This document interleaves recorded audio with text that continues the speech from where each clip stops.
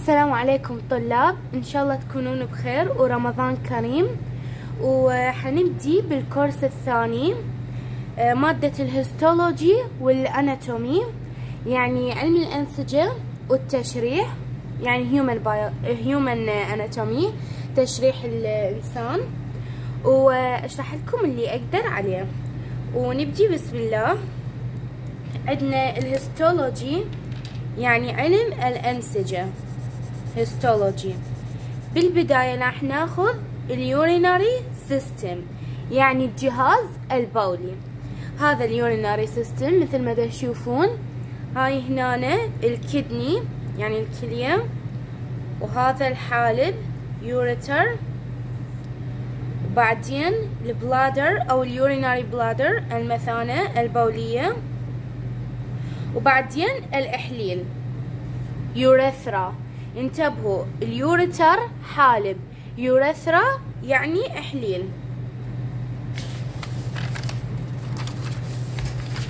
راح نبدي ال general structure and functions of the urinary system. يعني التركيب العام والوظيفي للجهاز البولي. يعني راح ناخذه بالتسلسل. بالبداية يقولون ال organs of the urinary system. يعني الأعضاء مال الجهاز البولي. من شنو شنو يتكون؟ ال kidneys يعني الكليتين. ureters يعني الحالب الحالبان ال urinary bladder المثانة البولية. urethra الإحليل. هاي شنو؟ هاي الأعضاء التي يتكون منها الجهاز البولي. الكليتين الحالبان المثانة البولية الإحليل. هاي هسه الأعضاء مال الجهاز البولي. هسه راح نجي واحد واحد. أو مو واحد واحد بالبداية حناخذ ال kidneys الكليتين. وقلم ما دا ينفتح. حنيجي ناخذ الكليتين ونشوف شنو شنو بيها. هسه الكليتين فلتر يعني هاي الوظائف مالتها. filter waste products from the bloodstream. يعني شو تسوي؟ أول وظيفة للكلى. شو تسوي؟ سوي ترشيح فلترة الشنو لل waste products للمواد الزائدة عن الحاجة. أو نقدر نقول مثلا الفضلات الزائدة. تسوي ترشيح لهاي المواد الزائدة من وين؟ من ال bloodstream من مجرى الدم. إذا الوظيفة الأولى للكليتين آه ترشيح المواد الزائدة من مجرى الدم. ثاني شيء convert the filtrate into urine. يعني تحول المواد المرشحة أو المصفات اللي رشحتها تحولها إلى يورين. تحولها إلى البول. هاي الكليتين تسوي ترشيح المواد الزائدة عن الحاجة الموجودة بمجرى الدم وتحولهن إلى بول. هسه نجي the urinary tract يعني المسلك البولي. المسلك البولي هو الأعضاء اللي اللي ينقلون البول إلى خارج الجسم. مثلا أو يتكون من The urinary tract يعني المسلك البولي يتكون من ureters الحالبون urinary bladder المثانة البولية urethra يعني الإحليل ليش يتكون من هذني المسلك البولي because they transport the urine out of the body إذا يتكون من الحالبان والمثانة البولية والإحليل لأنهم يقومون بنقل البول إلى خارج الجسم. هذا المسلك البولي يتكون من هاي الأعضاء اللي وظيفتهم نقل البول خارج الجسم. They transport the urine out of the body. إذا هسه بهاي الصفحة أخام أو العنوان العنوان. General Structure and Functions of the Urinary System. يعني التركيب العام والوظيفي للجهاز البولي. أخذنا ال organs of the urinary system أعضاء الجهاز البولي قلنا ال kidneys الكليتين ureters الحالبان urinary bladder المثانة البولية urethra الإحليل. وأخذنا بشكل عام ال kidneys الكليتين وقلنا الوظائف مالتهم اثنين. Filter waste products from the bloodstream يعني يعني يسوون ترشيح للمواد الزائدة عن الحاجة من مجرى الدم. يعني هاي المواد موجودة بمجرى الدم. الكليتين يسوون تشريح إلهن. ترشيح العفو.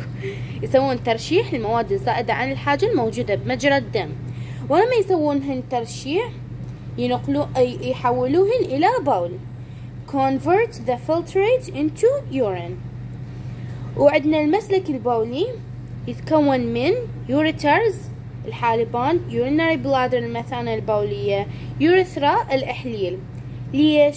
because they transport the urine out of the body. لأنه يقومون بنقل البول إلى خارج الجسم. هاي هنا رسم الكلية. هاي التأشيرات مال الكلية المعاني مهمة. لأن راح نحتاجهن بعدين. وهنا عندنا الشي المهم. هو path of urine uh, drainage يعني مسلك تصريف البول. هاي لازم بالتسلسل. يعني يتكون من collecting duct يعني القنوات الجامعة papillary duct النتوء الكلوي minor calyx هو كأس أو قمع صغير. موجود بالكلية.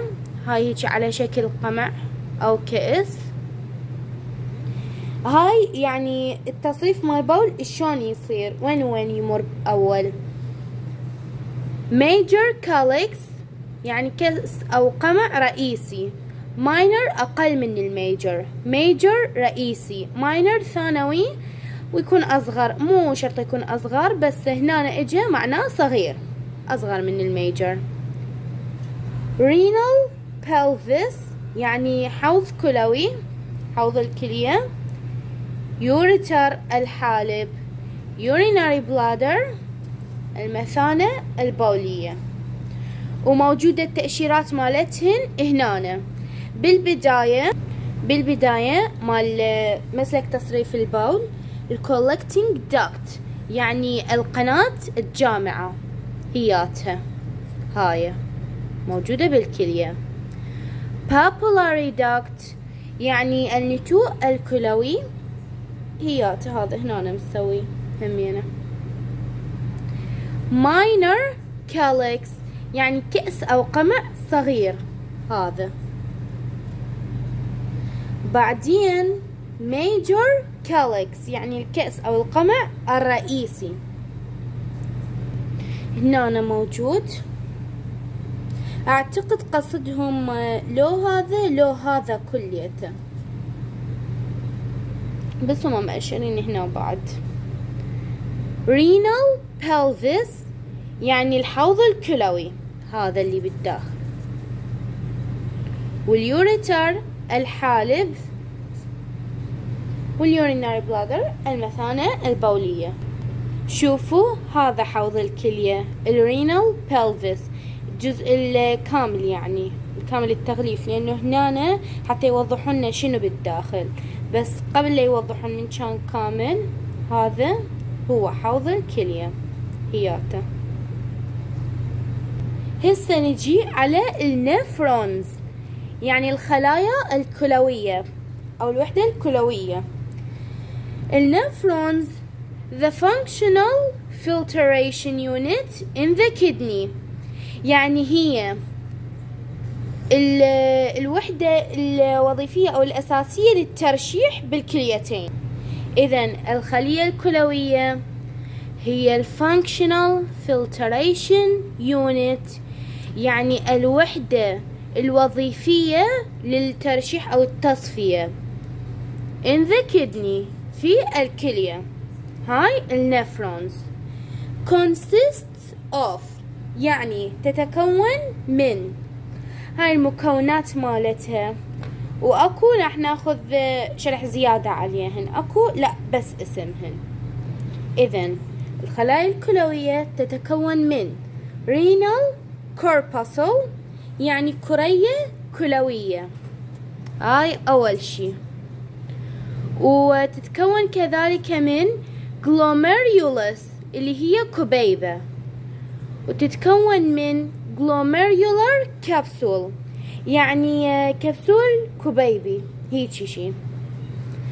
وهذا ال glomerular capsule هو نفسه Bowman's capsule يعني كبسول بومان أعتقد ماخذيه قبل. Proximal convoluted tubule. يعني انبوب ملتوي قريب. أو نبيب ملفف داني. يعني انابيب صغيرة ملتفة قريبة.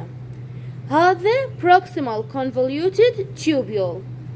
ضمن Bowman's capsule أو glomerular capsule آه يعني موجود بي ال PCT اللي هو انابيب صغيرة ملتفة قريبة.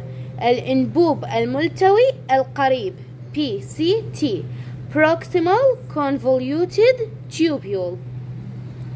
وتتكون كذلك من ال nephron loop loop of Henle هنا loop يعني إنبوب متعرج. ال loop يعني إنبوب متعرج. nephron loop يعني الإنبوب المتعرج مال الخلية الكلوية.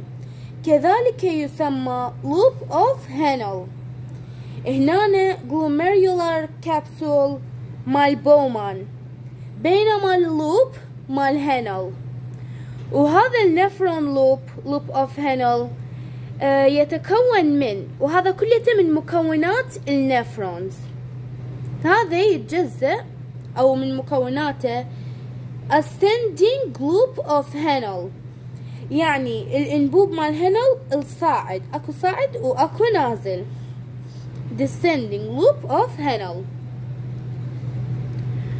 وآخر شي distal convoluted tubule DCT هنا كان PCT هنا DCT هنا هنا انبوب ملتوي قريب هنا انبوب ملتوي بعيد أو نبيبات ملتوية بعيدة نبيب ملفف داني نبيب ملفف قاصي أنابيب صغيرة ملتفة بعيدة يعني هنا القريبة PCT proximal. هنا البعيدة الأنابيب البعيدة DCT distal. و collectively called the renal tubule. متجمعة نطلق عليها بال renal tubule من تكون متجمعة اللي هي النبيبات الكلوية.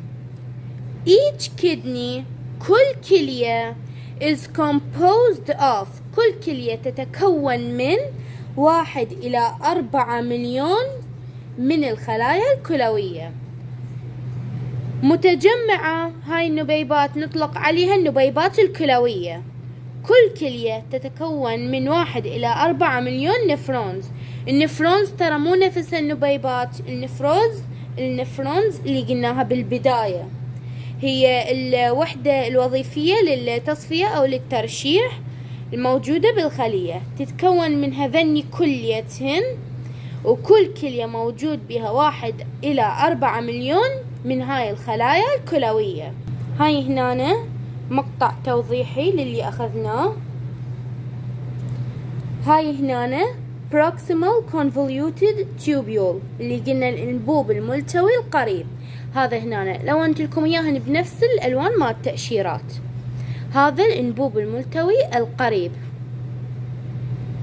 اللي هو site of action of carbonic anhydrase inhibitor. يعني هو الجزء أو الموقع. اللي شي يسوي؟ يكون مثبط يعني مثل اللي يهدئ إنزيم الأنهيدريز الكربوني. هذا إنزيم يعني ما بي ترجمة هو هيجي مثبط إنزيم الأنهيدريز الكربوني. إنزيم الأنهيدريز. وهذا هنا الموقع مالته. هو يمكن هذا همين. بس الأكيد هذا. Distal convoluted tubule. الإنبوب الملتوي البعيد. هذا. هو site of action of thiazide uh, diuretics. يعني شنو؟ يعني هو الموقع أو المكان اللي شي يسوي uh, مدررات البول الثيازيدية. ما همين ما بيترجم همين يعني إنزيم. وهذا هذا اللي يسوي. المدررات مال باول الثيازيدية يسويها الإنبوب الملتوي البعيد.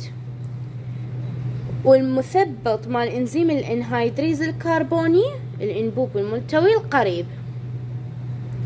هسه هاي glomerulus capsule اللي اللي يغلف يعني كبسول مال التغلف هذا. الشكل مالته thick ascending limb of the loop of Henle يعني هو الطرف الصاعد مال إنبوب هنل site of action of loop diuretics يعني هو الموقع اللي يسوي المدرات مال باول مال الإنبوب. وهذا الشكل مالته أو الموقع مالته collecting duct يعني القناة الجامعة. Site of action of uh, of aldosterone antagonist يعني هاي هم ما بيها ترجمة. هي هيجي. هي المكان اللي يسوي مضادات الالدوستيرون. وهذا المكان أو الشكل مالتها. أه هسه بالأصفر اني مأشرة بس ما يبين هذا المكان هو الأوتر ميدولا يعني النخاع الخارجي. ومن اللي هنا هذا المكان الإنر ميدولا ميدولا يعني اللب أو النخاع الداخلي. وهاي طفت الكهرباء. وهاي كانت محاضرتنا اليوم وأتمنى تكونون استفاديتوا وإن شاء الله أكملكم اللي أقدر عليه. بالتوفيق ومع السلامة.